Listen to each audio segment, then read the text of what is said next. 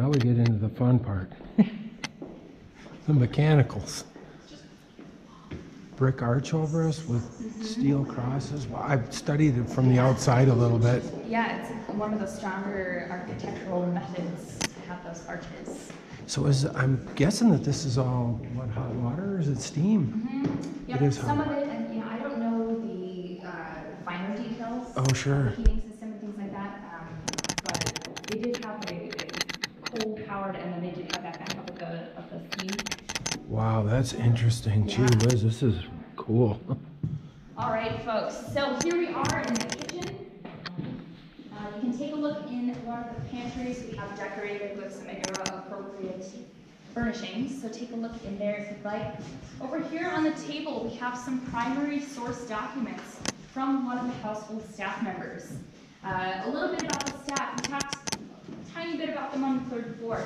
But here it's a better spot to talk about them because this floor, the basement, was first and foremost a big servant space. So the family didn't come down here unless it was for something very specific. Uh, Mary Hill, if she had a specific dish that she wanted to make herself, or if she was making her own wine, which she did, uh, then she would come down here. But by and large, this was just for the staff. Now, it was predominantly a female staff, uh, mostly uh, working class, unmarried women. At the time, if you were working class, female, and unmarried, you had limited job options.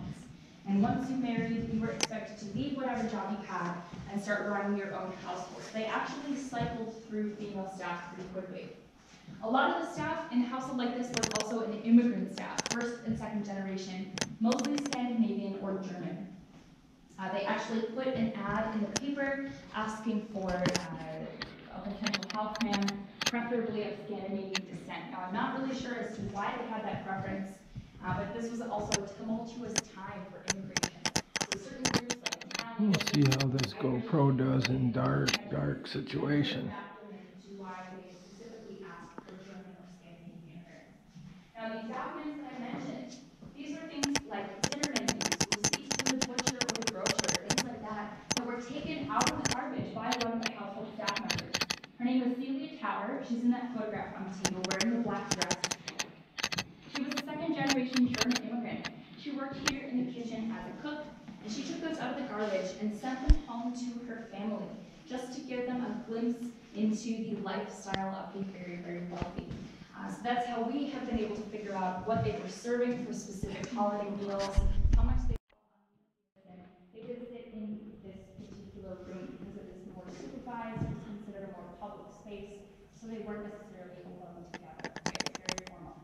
And then they got married, she left her position, and then they started their own family. So we received a lot of those photos and artifacts from descendants of the uh, housing staff themselves, which is pretty great. Now, I'm going to leave you with one quick anecdote. A couple months ago, I had a woman on my tour who went to school here to become a Catholic school teacher. And she told me that during the winter time, the nuns would roller skate up and down this hallway. And in the summertime, they would roller skate on the back terrace. Uh, it's a pretty uh, adorable story. All right, my folks. Oh, yes. Just because I've been here Yes. before, so that section is not part of the church then? Um, we can stop down there, but we're kind of cutting it short on time. Is any, if anyone has to leave, um, they absolutely can. Otherwise, if you're okay staying a minute or, minute or two over, we can check out the boiler room. Um, And also, yeah, where they did the wash and the. Oh, okay. All right, so here in the laundry room, you can imagine this is a pretty crowded, loud, hot space. Uh, these four tubs are indeed original, and this is where clothing would be rinsed and washed and scrubbed and things like that. But then also at the end, of course, you would have the bluing tub, and that was sort of the predecessor to bleach.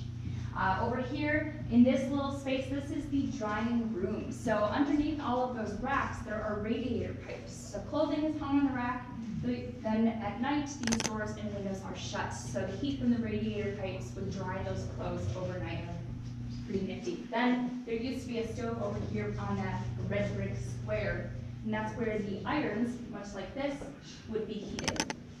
Uh, so, you know, kind of a long process to heat the wood. So take a look in the drying room, and then we will make a quick stop down to the boiler room. So quick question, yes?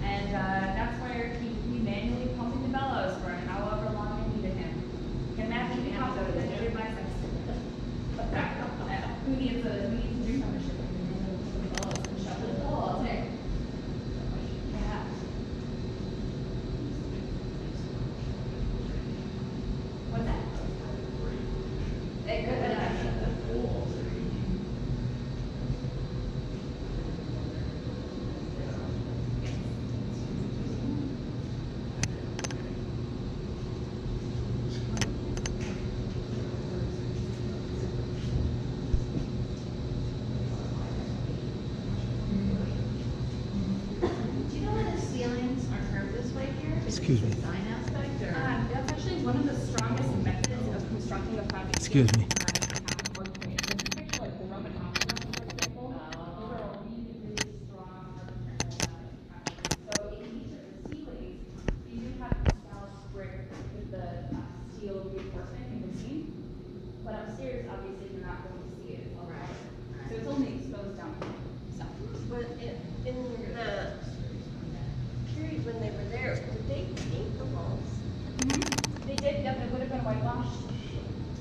clean. Um, and I think you know we repainted it when we were